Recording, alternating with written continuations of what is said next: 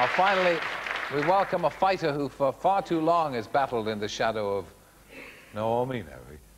Get, did you get that? That was an impersonation. Anyway. The man has the longest unbeaten run in British boxing history 35 fights, 35 wins. He's about to take on the European champ Lennox Lewis in what could be an eliminator for a crack at Iron Mike Tyson. Ladies and gentlemen, in the blue corner, the British heavyweight boxing champion, Gary Mason.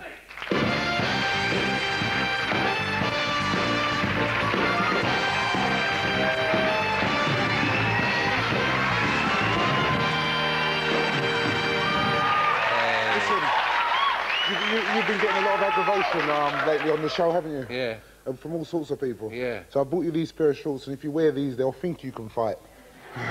Oh, that's great. Thank you, Gaz.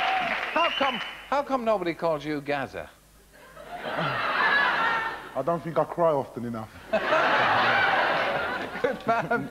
You've, um, you're missing, you're, you're smaller than I thought you'd be. You mean I'm smaller than you've seen me before? Yeah. You lost a lot of weight. Well, I went on a, an extensive training program in, in America, and um, I lost quite a lot of weight. What are you down to now? Um, when I went there, I went on a diet, and I was on a diet trying to get down to 25 stone. only a joke, only a joke. Oh, look, look. Look, if you tell a joke, we're all going to laugh, I'll tell you. we all get it. Now, you've got a fight on May the 6th, which Yeah. could be the most important of your career, probably is. Well, it is, because uh, Mike Tyson has said he's, he'll be willing to come to Britain in the summer and face the winner of the Lennox Lewis and me fight. And um, I'm also ranked fourth, and as you know, George Foreman is fighting Evander Holyfield, and Mike Tyson is fighting Razor Ruddock, and both of those, all of those four are ranked above me, so I'll be the logical, the next one. in It's your line. number five in the, in the rating. Gone up to number four in one of the ratings as well. Brilliant. Yes. But I mean, the, the hype has started already with Lennox Lewis calling you fatty. Yeah. No, this started a long time ago. Lennox Lewis was calling me names while I was out of action, while my career was in the balance. And um, I wasn't able to reply because I didn't know whether I was going to fight again. But now I'm back, and I think um, Lennox knows I'm back, and I'm going to make him pay for a lot of what he said. The good thing about my profession is that, like, if you ever go at me now, there's nothing I can do, is there? Well, but. Lennox Lewis, he can have a go at me. There's a lot that I can do, and I'll get paid for that as well.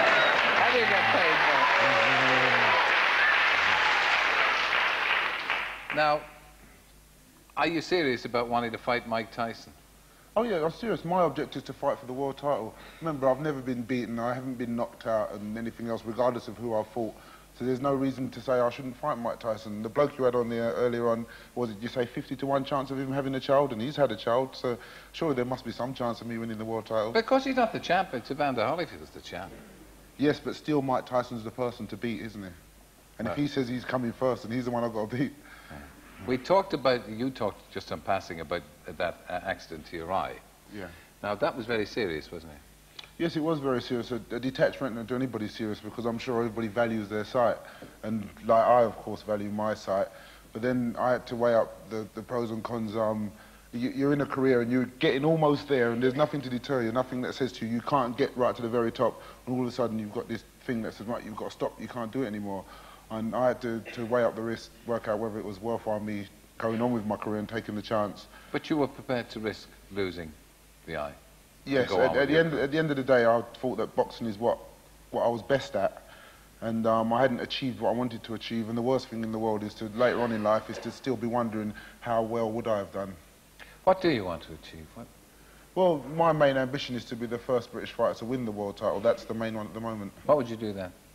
I don't know. I don't know. I, I really don't know what I do after I've done that. Um, I can do various things. I, I actually run a business, and um, I do a lot of commentary for um, for television.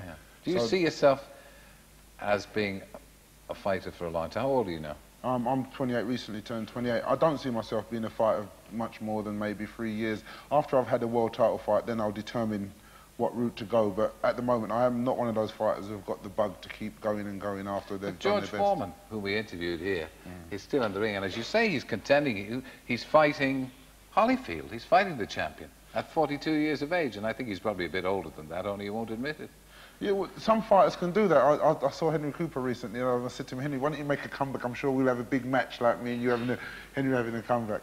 Yeah. What- So, but I think, um, Foreman, you know what it is? There's something about America and Americans. They've got this idea of they keep going on, like the Sugar Rays, the Alis, they just keep going on doing that little bit more. We don't know whether it's for money or we don't know whether it's for glory.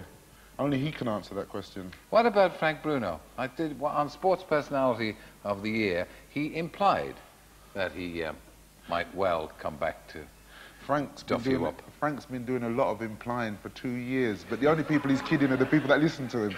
Are we not? You don't think we're going to see Frank back in the ring? Well, um, you, you see Frank more often than I do. You should ask him these questions. I'm sure he'll answer them. You and Frank, you and Frank were for a while part of the same stable. You sparred together and all the rest. Yeah. Yeah. Did you ever feel that you were in his shadow? That Well, if you, it, boxing is a business like any other thing, and Frank was a professional four years before I was, and I can't just come and all of a sudden jump in the front of the queue and, and start saying like, well, I'm the best. Or my manager at that time, Terry Lawless, he couldn't go out to the world and say, well, I've got the best heavyweight in the world, and then like about Frank, and then the next minute go and say the same thing about me. It just wouldn't work. So it was it was business that I stayed um, behind Frank and in Frank's shadow, and me being a business person, I understood that. and then, with- then you, you split with Terry Lawless. Since was that because of, of Frank? Or? No, it was just the various things. I, I still ring Terry up and speak to Terry now, and I still think he's one of the best managers we've ever had in this country. But um, th- there are differences. Any relationship, there's always differences, but they don't have to be sort of like differences where you fall out and want to fight No, each other. Of. Well, have, what you need now, of course, is a few catchphrases and somebody like Harry Carpenter to say Now, do you really think I need that?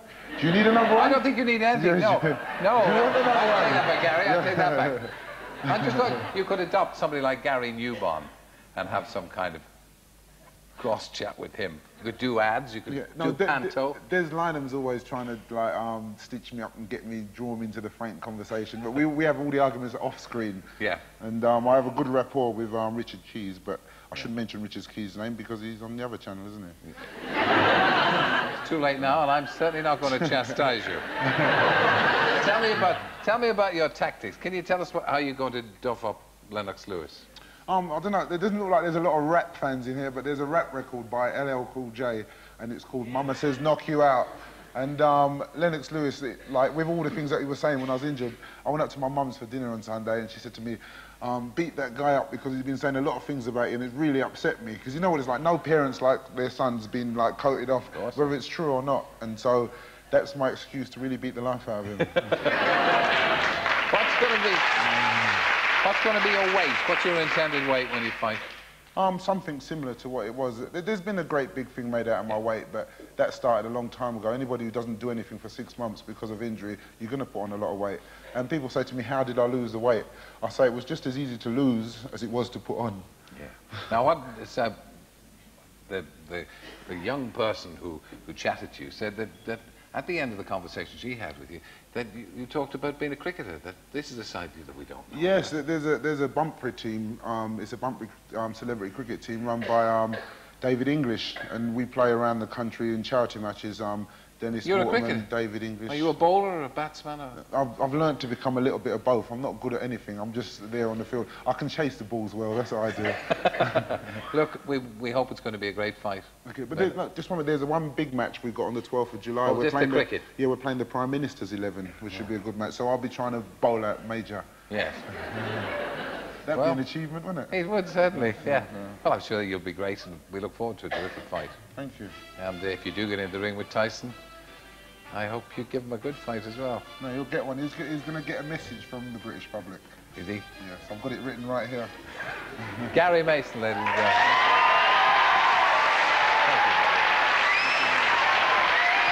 Thanks to Gary, thanks to Anton, to Robert, and the Langham family. Friday's another chance to see if we can get it right. It's by and for the ladies.